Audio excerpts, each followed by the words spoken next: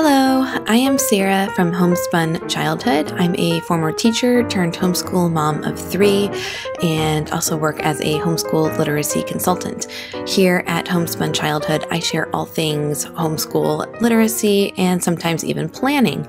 So today's video is going to fall into that homeschool and planning category.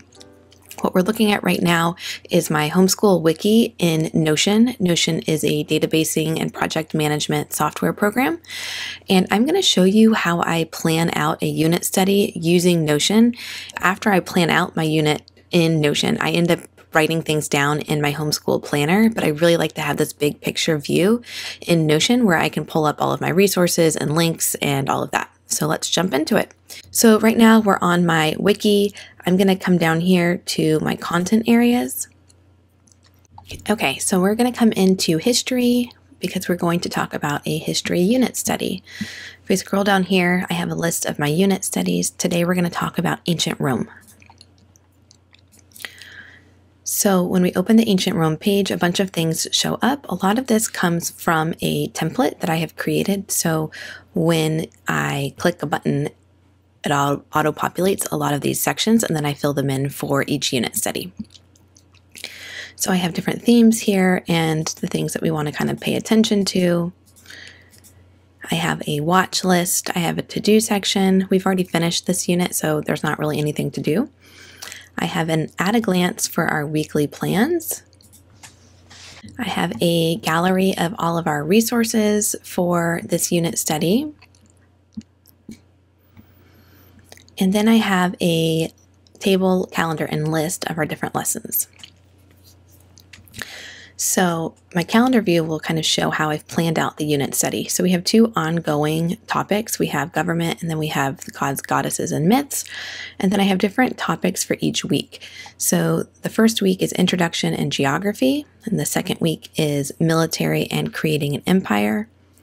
The third week is daily life. So we have all different facets of daily life. And then more daily life here. And then we have um, art and music and architecture, and then the end of an era. If I come over to my list, I can see these kind of laid out in a list view. And then what I've ended up doing is making weekly plans into a separate page. This was kind of before I figured out a way that works better for me, but this works for now too. So up here, I could just come to week one and I have all of my materials for week one and then my lessons for week one. And I could come in to my lesson. And this one is all about geography. And then within geography, I have different subtasks. So we're going to do a tour of ancient Rome. We're going to map ancient Rome. We're going to look at architecture. We're going to read about the Roman Empire. We're going to read from Magic Tree House. All these different little subtasks that are part of this lesson. So if we come back to up here, we can see essential questions and big ideas, vocabulary, and different output. I end up screenshotting this and printing this out and pasting it in my School Nest planner. I like to plan up here digitally where I can type faster and cut and paste from some of our resources. And then I like to have it on paper when I am doing our lessons because I really try to not have like my phone or something out.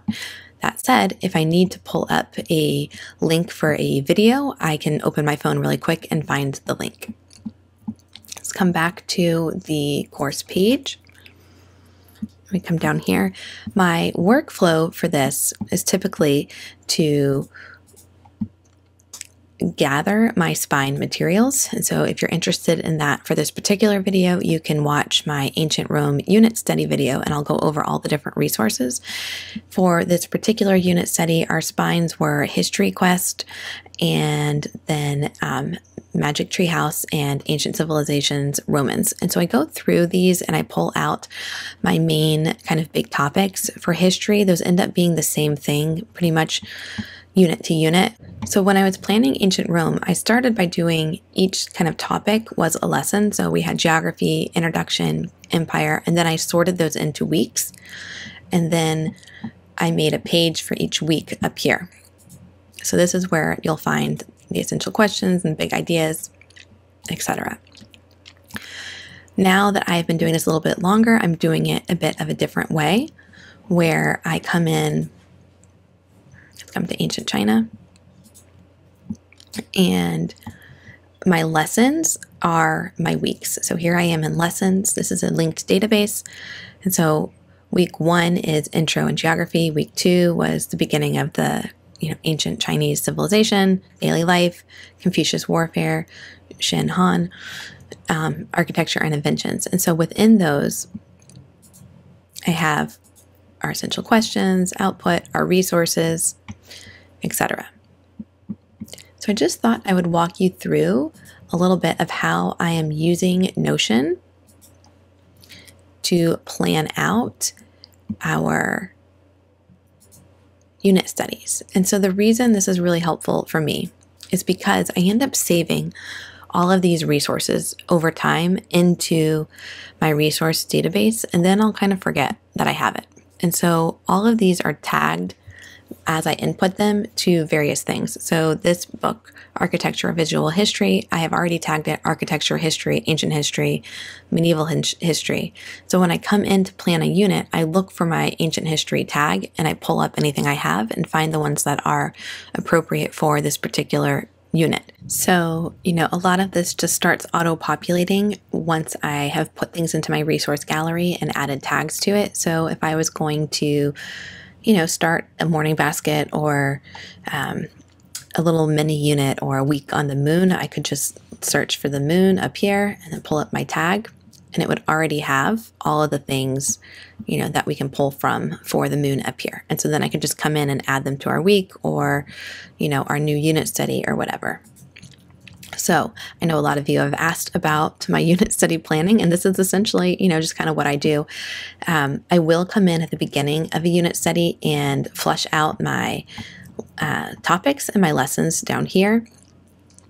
I will often try to get ahead with this overview part, our big ideas, essential questions, etc. But sometimes this ends up being the week before. And then I just print it off and stick it in my planner and go. With my upcoming wiki template, you could also assign all these lessons as dates and they will show up on your wiki based off of who they are assigned for and what um, content area they are and when they're due. So if you have any questions about how I do unit study planning, you're welcome to drop them in the comment box below, or you can email me at sarah at homespunchildhood.com or find me on Instagram at homespunchildhood. If you're interested in planning out a unit study using this method, I will be launching my wiki in just a couple of days. Um, and if you're watching this in the future, you'll be able to find my wiki template on my website and linked below.